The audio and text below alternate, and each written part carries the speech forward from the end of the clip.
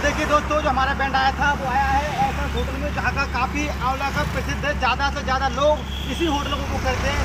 इस होटल में क्या क्या खास बात है और क्या क्या अच्छी खूबियाँ हैं, जो कि बरातियों का भी पसंद आती है। देखिए कितना लग्जरी लगता है ये अंदर से हम आपको दिखाते हैं पूरा होटल आइए दिखेगा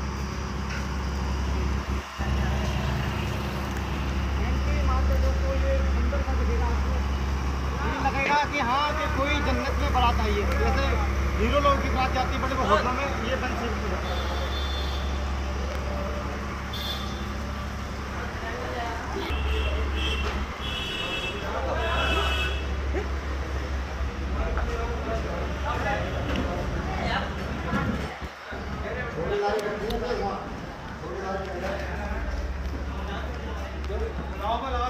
तो जैसा कि दोस्तों आप देख रहे हैं, ये अंदर कितना अच्छा है और आप बैक दिखा दिए एक बार कितना अच्छा लग रहा है यहाँ पे। पिंटू जी, एक बार दिखा दो, इसको ऊपर वाला दिखा दो, कितना अच्छा सुंदर दिख रहा है ये।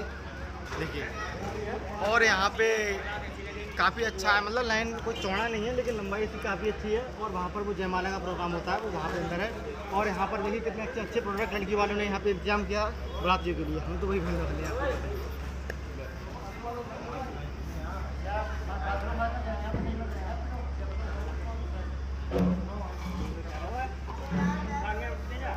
जैसे कि ये तैयार हो रहा है बारात आने के इंतज़ार में क्योंकि एक साथ तो तैयार नहीं कर सकते। इस चक्कर से ही लोग तैयार पहले चार पाँच घंटे पहले ही तैयार आप माइल करना पड़ता है। चलिए आगे पिंटू बात बराबर दिखाते रहिए बराबर दिखाते रहिए ये एक व्यक्ति हर स्टेज पे खड़ा कर दिया जाएगा जैसे कि जल्दी हो सके और लोग भीड़ भाड़ ना करके, ज़्यादा खाना वेस्ट ना करें। एक टेबल पर एक व्यक्ति होगा, जैसे जहाँ पे चाउमीन है तो यहाँ पे चाउमीन बनाने वाले अलग होंगे और भरने वाले अलग होंगे। और यहाँ पे ये डोसा का प्रोग्राम होगा और यहाँ पे पुलाव, पनीर और अन्य सब्ज़ियाँ होंगी। और यहाँ पे शायद फ्रूट चाट होगी। ये बुढ़िया के बाहर है और ये पॉपकॉर्न वाली मशीन है। यहाँ पे पॉपकॉर्न भी खा सकते हैं आप। तो आप आप देखिए यहाँ पे हमारा पड़ती है वहाँ पे लेके चलता हूँ अंदर कितना अच्छा है कितना अच्छा दिख रहा है।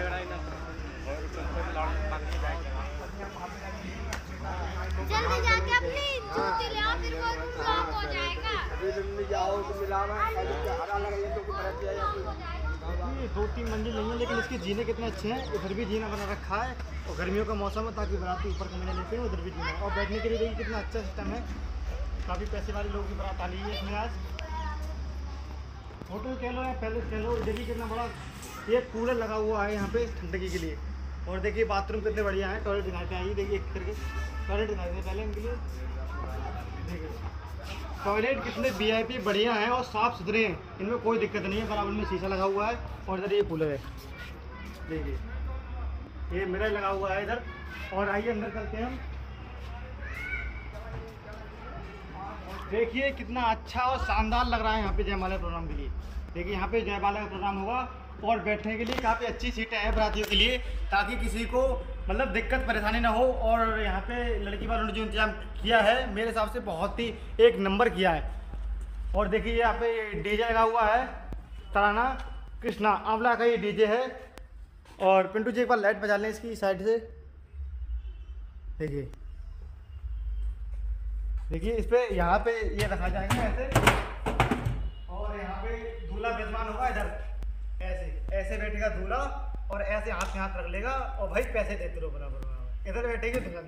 दुल्हन और दूल्हा का ऐसे हाथ रख लिया होगा और उनकी इनकम होने वाली है आज से बीस से तीस होगी ना लमसम हाँ बीस से तीस हज़ार दूल्हा दुल्हन अपने हाथ में कमा लेंगे।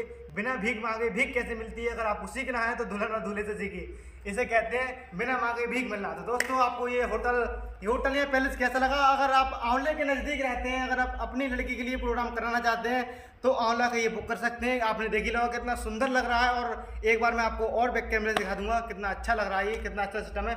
मुझे तो ये बार लगा और आपको कैसा लगता है? आप बुक करना चाहते हैं तो बुक कर सकते हैं। आंवला के पास वाले लोग।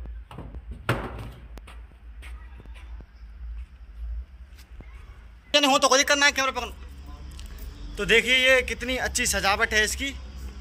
दोस्तों, जैसा कि आपने पूरी वीडियो देख ही ली होगी, अब आपको वीडियो हमारी कैसे लगी लाइक बाय शेयर करके कमेंट कर ज़रूर बताएँ, ताकि आपको इस ऐसा होटल की पूरी जानकारी देने के लिए हमने कितना कष्ट उठाया, कितने लोगों को सामना करना पड़ा। यहाँ पे काफ़ी लोग बैठे हुए हैं, किसी ने कुछ नहीं बोला था। देखिए, बाकी काफ़ी अच्छे गमले भी लगे हुए हैं सजावट के लिए।